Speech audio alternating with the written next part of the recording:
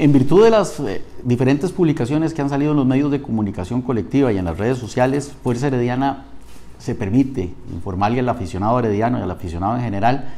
que no existen deudas pendientes de cobro con la Caja Costarricense de Seguro Social, como está asegurando esta institución. Existen dos procesos judiciales en los que se discuten la procedencia y la existencia de esas deudas, que en ambos casos se han dictado dos medidas cautelares señalando el impedimento para la Caja Costarricense de Seguro Social del cobro de esas deudas. Una de ellas, que es la que se menciona en el comunicado, corresponde a una deuda que se traslada de RBC Radio Limitada, que fueron los anteriores administradores del Club Sport Herediano, a Fuerza Herediana y que también está siendo discutida y que hay una orden judicial, como manifesté anteriormente, que conoce la Caja Costarricense de Seguro Social porque ha sido debidamente notificada, en la que le señala que no puede proceder con el cobro tampoco de esa planilla adicional hasta que no se discuta por el fondo y se determine si es procedente o no el cobro de esa deuda. Para nosotros es muy importante que nuestro aficionado lo conozca y que lo sepa, incluso la única deuda a la que hace referencia a la página oficial de la Caja Costarricense de Seguro Social, esa, esa deuda de responsabilidad solidaria que nunca se nos notificó y que por eso estamos discutiéndola. Y además hemos hecho advertencias directamente a la licenciada Hazel Barrantes de la Caja Costarricense de Seguro Social en la sucursal de Heredia de la existencia de esa, de esa medida cautelar, se le ha notificado de la existencia, en fecha 16 de julio fue la más reciente, para que se abstengan de proceder en, en violación de órdenes judiciales ya existentes. Pero más aún, me preocupa mucho el accionar de la caja cuando conoce que en una de las medidas cautelares el propio juez de la República le señala que no debe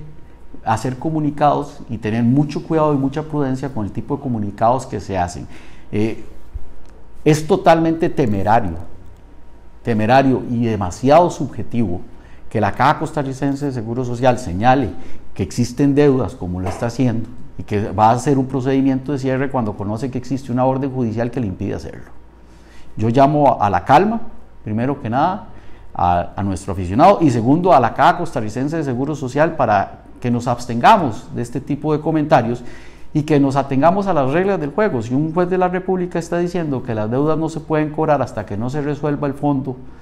de los temas que se están discutiendo, de la procedencia de esas planillas, que pongamos las cartas sobre las mesas, que dejemos todo esto de lado y que esperemos la resolución de un juez de la República en última instancia, como se hace en un Estado de Derecho al cual estamos sujetos, ellos como entidad pública y nosotros como entidad privada,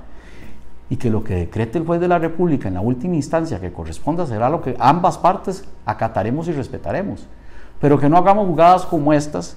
que nos preocupan, especialmente cuando se acaba el mundial, se habla de un premio y entonces la Caja Costarricense de Seguro Social pone en la mira a los clubes de fútbol, no solo al Herediano, sino a muchos otros más, para traer a sus arcas y a sus fondos un buen recaudo, cuando se le olvida que también existen otros deudores, incluyendo instituciones del Estado, a las cuales no veo que se les esté dando el mismo trato. Yo creo que debemos estar en un Estado de Derecho, debemos respetar las reglas del juego e insto también a los medios de comunicación, especialmente aquellos que no son afines al Club Sport Herediano, que hacen réplica de todas estas manifestaciones sin ni siquiera acercarse o pedir explicaciones como debe ser y como exige el periodismo